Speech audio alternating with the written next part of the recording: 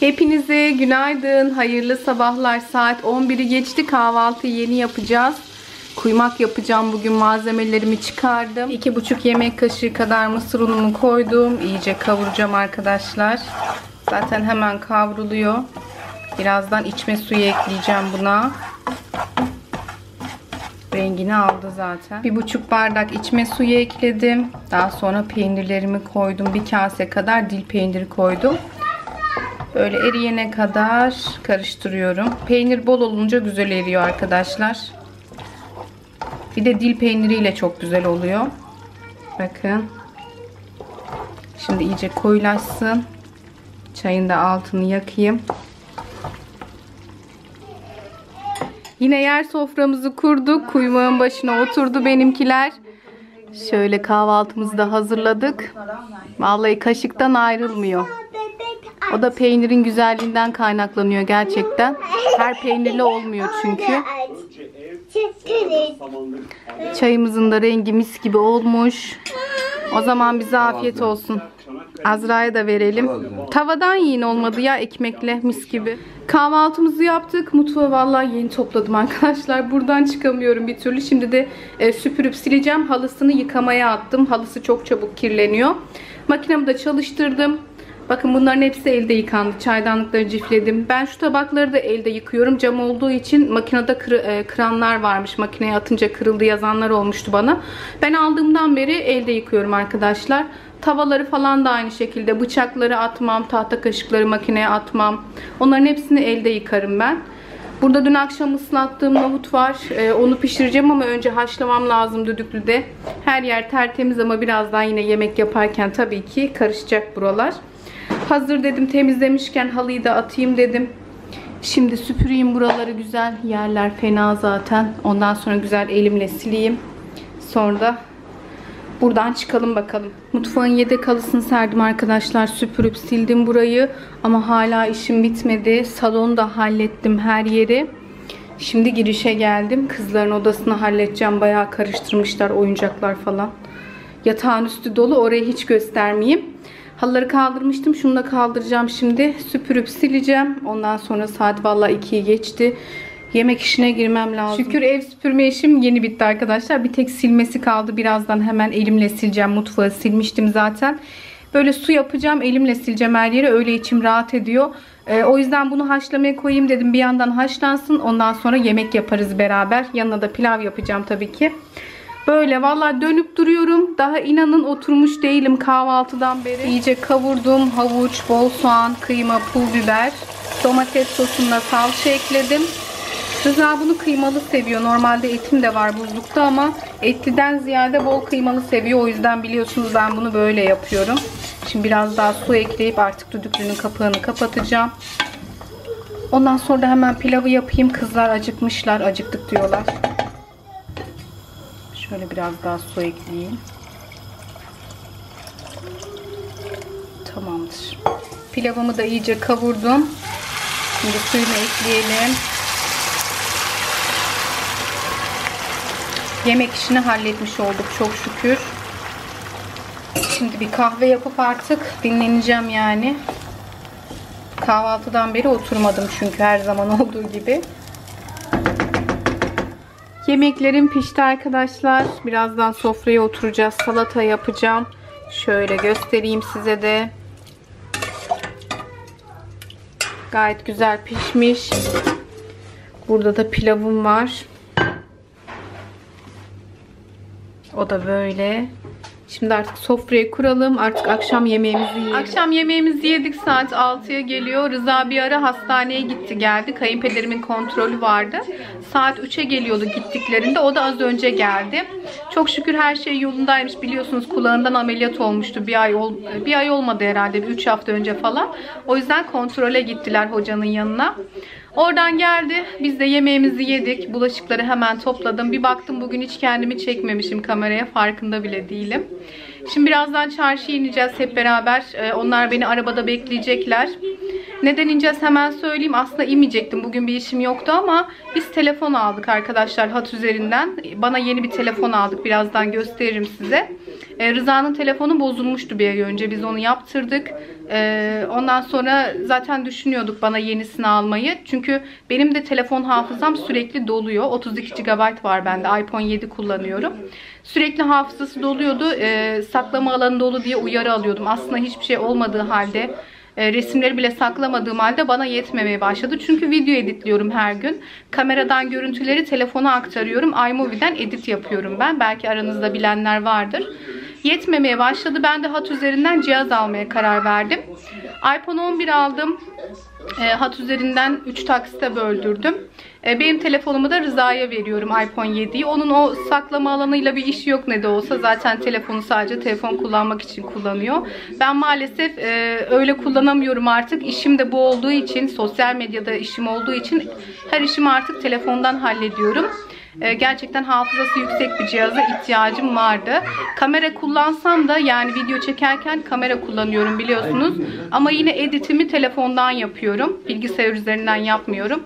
Her neyse telefonumuz bugün geldi kargoyla. E, internetten sipariş vermiştik. O yüzden onu hem ekran jelatini yaptıracağım hem de kapak alacağım. Sonra benim telefonda sıfırlayıp Rıza'nın telefondaki bilgileri ona aktaracağız. O yüzden telefoncuya iniyoruz çarşıya. Hemen onu öyle bir yarım saat içinde halledip geliriz. Böyle bakalım hayırlısıyla inşallah Allah güle güle kullanmayı nasip etsin. Daha iyileri sizin olsun inşallah. Yeni telefonum da burada arkadaşlar. iPhone 11 64 GB aldım. Vodafone hattımın üzerinden aldım. Bu arada artık eskisi gibi 12 taksit yapmıyorlar. 3 taksite bölüyorlar. Ee, 1500'ünü peşinat istiyor sizden. Geri kalanını 3 taksite bölüyor. Bilginiz olsun. Belki aranızda almak isteyenler vardır. Burada şu anda güncellemesi oluyor. E, Güncellenmesi oluyor. Siyah vardı stoklarda. Beyazını istiyordum ama e, stokta kalmamıştı. Ben de beklemek istemedim. Dediğim gibi ihtiyacım da vardı. O yüzden siyahını aldım. Gerçi kapak kullanıyoruz. Benim için rengi çok önemli değil ama olsun. Ee, eski telefonum da burada emektarım. Bunun da şimdi kapağını falan değiştireceğim. Bunu da Rıza'ya vereceğim. O yüzden bundaki bilgileri buna aktarıyorum. Şimdi kurulum yapıyorum. Bütün numaralarımı falan ona geçecek. Böyle arkadaşlar. içinden kulaklığı şarj çıkıyor zaten biliyorsunuz. Kulaklığımı Azra zaten kırmıştı. Diğer e, bu telefonun kulaklığını. Şarj aleti de orijinal yoktu artık. İyi oldu yani. Şöyle şunları kutusuna koyayım. Allah güle güle kullanmayı nasip etsin inşallah. Çocuklardan dikkat etmek lazım. Çok düşürüyorlar çünkü.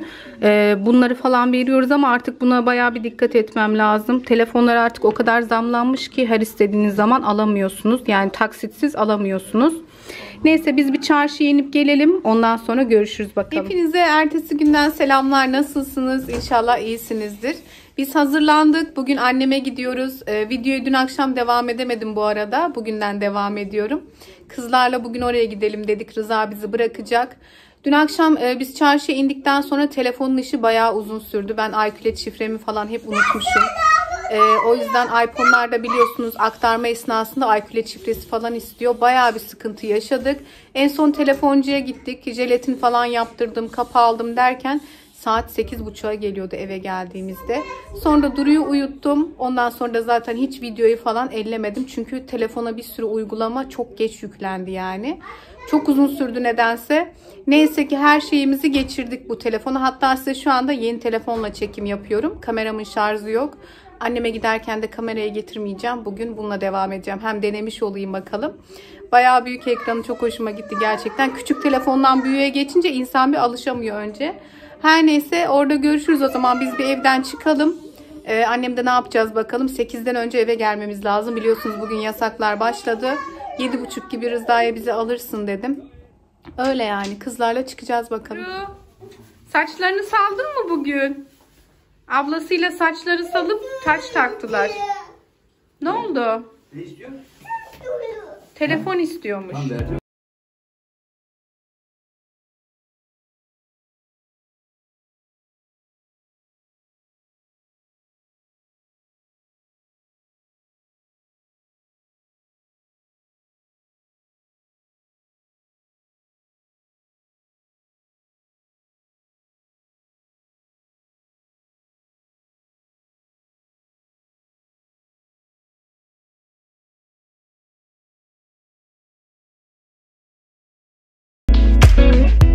Evlere geldik. Bir saat falan oldu. Rıza bizi bıraktı. O da çarşıda işleri vardı. Çarşıya gitti.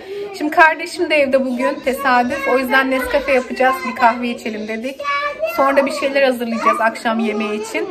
7.30'a kadar buradayız. Dediğim gibi yasak gelmeden eve gitmem lazım. Aslında kalırdım ama kalmak için gelmedim. Ee, akşama kadar otururum diye geldim. Kızlar şimdi acıkmışlar. Hamza falan onlara yumurta pişirdim. Yumurta yiyorlar çünkü daha yemek yapmadık. Ee, tavada omlet yaptım onlara. Bir şeyler atıştırıyorlar. Biz de annemle ne yaparız bakalım daha mutfağa girmedik. Tek İsmail'le kendime yapacağım. Annem içmeyecekmiş. İkisi bir arada vardı.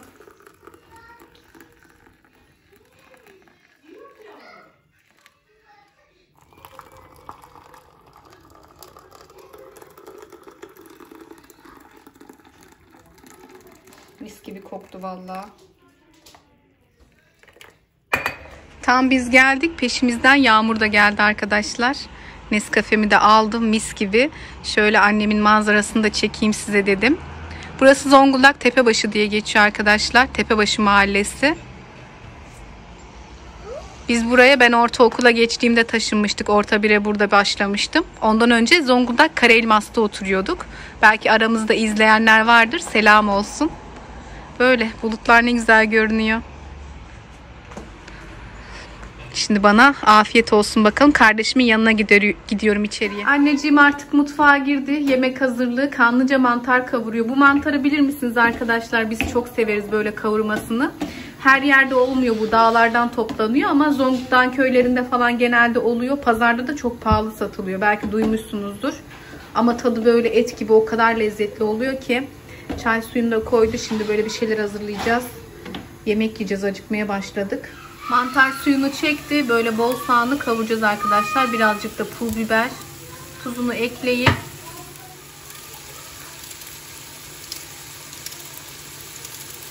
Mantarımız hazır arkadaşlar. Bol soğanlı, karabiberli kavurduk. Annem turşu da çıkardı. Çayımız da demini almak üzere. Şimdi bir şeyler daha koyacağız sofraya. Ondan sonra oturacağız. Afiyetle yemek yiyeceğiz bakalım. 8'den önce evimize geldik arkadaşlar.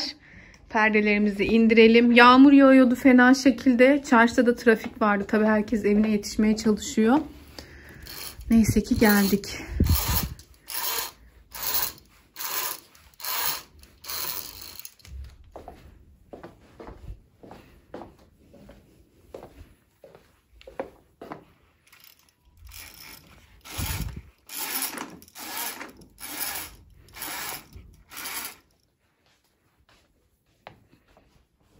Televizyonu da açalım.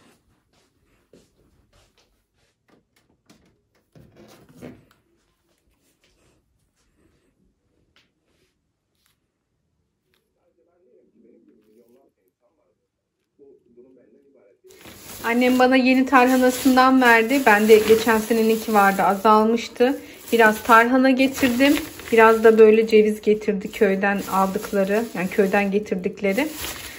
Bunların kabuğu çok ince arkadaşlar. Orada da kırdık yedik. Çok güzeldi gerçekten. Hemen de kırılıyor. Bunu kaldırayım tatlılarda falan kullanırım. Bunu da kavanoza boşaltayım. Duruya süt yapıyorum. Artık uyku vakti geldi diye düşünüyorum ama deminden beri vallahi neler yaptı babasına.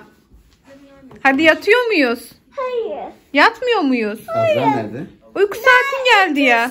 Duracağım. İki saat daha duracağım. Kaçta yatacaksın yani saat olarak? Üç yatacağım. Kaçta? Üç. Üçte. Hadi gidiyoruz. Baba getirsin seni odaya. Ben de süt yapayım kızıma tamam hadi. Saat 1'e geliyor arkadaşlar. Artık benim için de dinlenme vakti. Burada veda edeyim dedim sizlere. Yarın görüşmek üzere. Kendinize iyi bakın. Hoşçakalın.